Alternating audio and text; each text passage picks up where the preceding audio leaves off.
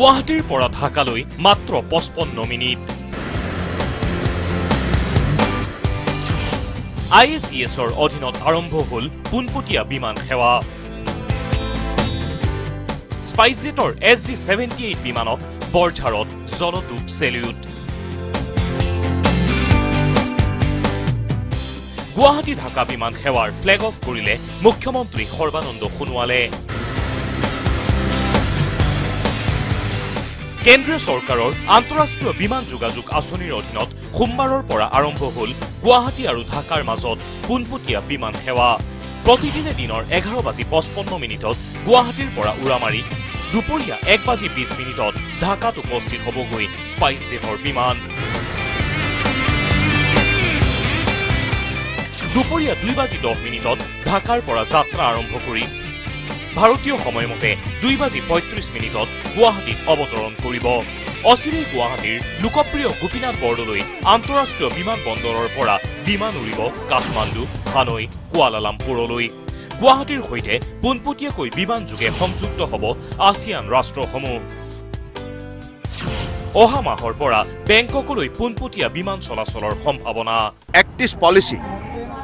কাৰ্যকাৰী ৰূপ দিয়াৰ নিমিত্তে অসম তথা উত্তৰ পূৰ্বাঞ্চলৰ ৰাজ্যসমূহক যেনেধৰণে তেখেতে উদ্বুদ্ধ কৰিলে উৎসাহিত কৰিলে যোৱা পাঁচ বছৰ তেখেতৰ বাবে আজি সম্ভৱ হৈছে।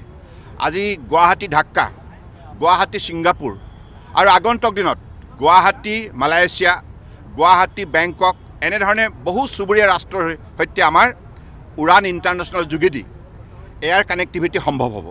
গুৱাহাটী ঢাকা বিমানৰ যাত্ৰাৰ শুভাৰম্ভ অনুষ্ঠানত মুখ্যমন্ত্ৰী সৰ্বানন্দ সোণোৱালৰ লগতে পৰিবহণ আৰু উদ্যোগ মন্ত্ৰী চন্দ্ৰমোহন পাটোৱাৰীও উপস্থিত থাকি শিলচৰৰ পৰাও আন্তঃৰাষ্ট্ৰীয় বিমানৰ চলাচলৰ প্ৰয়োজনীয়তাৰ ওপৰত গুৰুত্ব আৰোপ কৰে respected Secretary Civil Aviation and Ma'am Usha Padiji, that we are actually our Silchar connectivity, our airport is very small.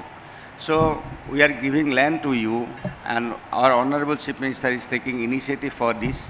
So we are giving 3,000 bighas of land for Silchar airport I, and I request you, I request you to sanction this also so that our connectivity with South, Southeast Asian country. Will again request you probably in the interest of northeastern region as well as our country that Silchar airport if you are uh, if, if you sanction and after completing probably we will write a letter to again civil aviation ministry international airport the second international airport in the state. So that is our vision that is the vision of the chief, honorable chief minister. গুৱাহাটীৰ পৰা ঢাকালৈ প্ৰথমখন বিমানৰ যাত্ৰী হ'ল অসমৰ বাৰগৰাকী বিধায়ক। দলটোৰ নেতৃত্ব দিলে মন্ত্ৰী পীযুষ হাজৰিকাই। উল্লেখ্য যে প্ৰতিদিনাই প্ৰায় চাৰি হাজাৰ লোকে বিমান যোগে বাংলাদেশৰ পৰা ভাৰতলৈ চিকিৎসাৰ বাবে যাত্ৰা কৰে। তেওঁলোকৰ গন্তব্য স্থান আছিল কলকাতা মুম্বাই অথবা দিল্লী।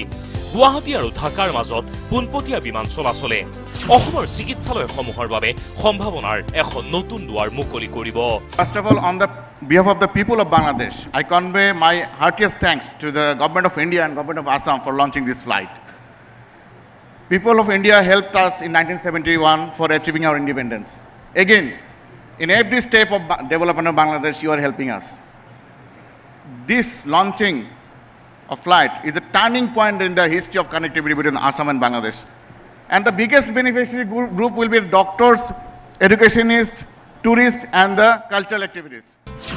গুৱাহাটী ঢাকা পোনপটীয়া বিমানৰ ভাড়া হ'ব প্ৰায় চাৰি হাজাৰ টকা ইয়াৰ তুলনাত কলকাতা আৰু ঢাকাৰ মাজত বিমানৰ ভাড়া কিছু অধিক হোৱাত ঢাকাৰ পৰা যাত্ৰা কৰা যাত্ৰীসকলে গুৱাহাটীৰ পৰা সংযোগী বিমানৰ জৰিয়তে কম খৰচতে বিভিন্ন চহৰলৈ যাত্ৰা কৰিব পাৰিব বৰঝাৰৰ পৰা গিৰীন্দ্ৰ কলিতাৰ সৈতে। কেমেৰা পাৰ্চন কমল বৈশ্যৰ সৈতে Dhiraj Hazarika D Y three six five.